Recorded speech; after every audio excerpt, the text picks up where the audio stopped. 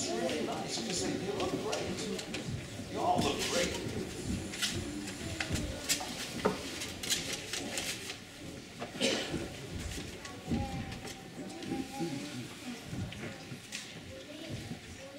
Really? How cool.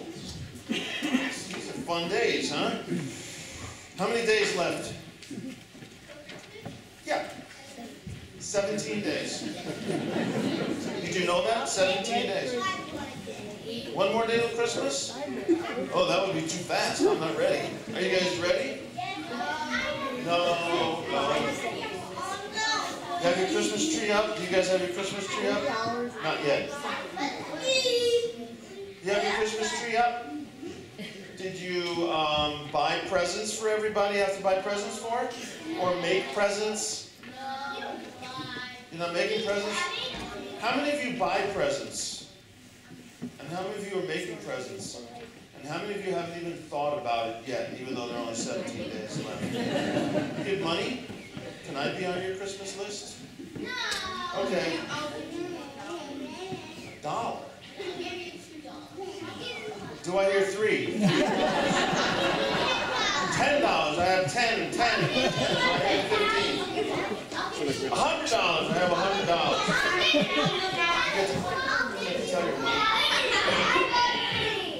Dollars. This day.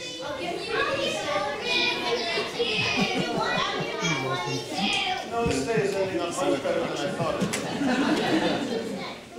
Thanks. Well, you know, Ryan told us you only have 17 days left. That's not a lot of time, right? And it's not like he's making that up. That's true. If you look at the calendar, today's Sunday, then we have next Sunday and the Sunday after that, and then Wednesday comes and it's Christmas. So you have to get ready. No school. An Advent calendar. That's good. Two more Sundays and then three days. Yeah, two more Sundays and then three days.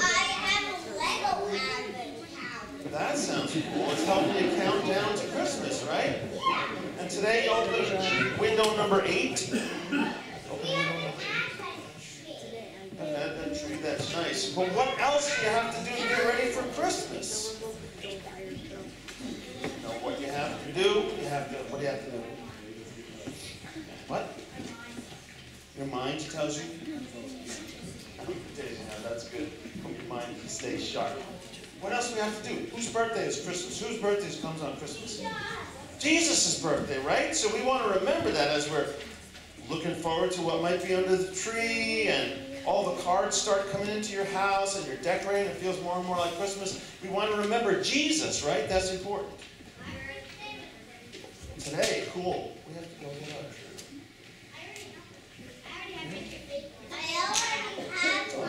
Okay. I keep mine in the back. In the back In the back of what? In the back of your car? You drive around over here?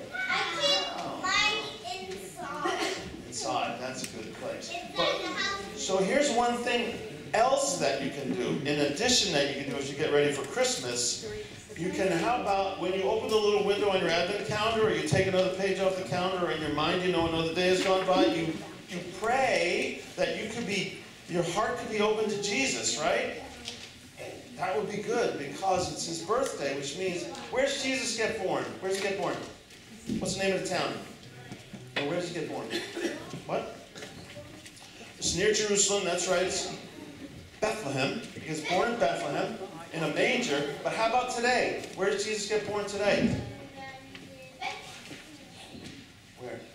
In your heart. That's right, in your heart. So we pray that we might know that Jesus is in our heart. And then Christmas is really exciting because of what it means. Right? Because it means what, and what does Jesus want to tell you? What does Jesus want to tell you so that he can be born in your heart? What does he want to tell you born in your heart? He wants to tell you, shape up. Shape up. That's right. That's what John the Baptist says. He says, shape up. That kind of shape. Yes, you have turn into a trapezoid. He wants to say, behave yourselves.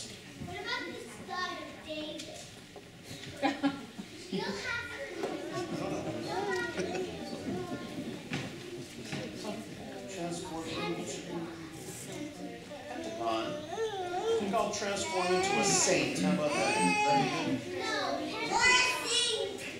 Or a saint. You could call me Saint Paul. That would work. So what? So here's what we're gonna do, right? Here's what we're gonna do, boys and girls. Boys and girls. This is why I never became a school teacher. We're gonna make it a point, right? We're gonna have our parents remind us, do it, that we're gonna say a prayer every day that God would prepare our hearts even as we get ready for Jesus to come. Okay? Does it sound like a good idea? And we'll start this morning. So let's fold our hands and bow our heads. And we say, Thank you, God. Well, God and Santa together work on this one together. Thank you, God, for welcoming us into your church. Thank you, God, for Christmas coming in 17 days. Help us to prepare our hearts and to be open to the love that you have for us. For this we pray in Jesus' name. Amen. Thanks, guys. Have fun. See you next week. What? I don't know. I don't even know where that came from. Oh,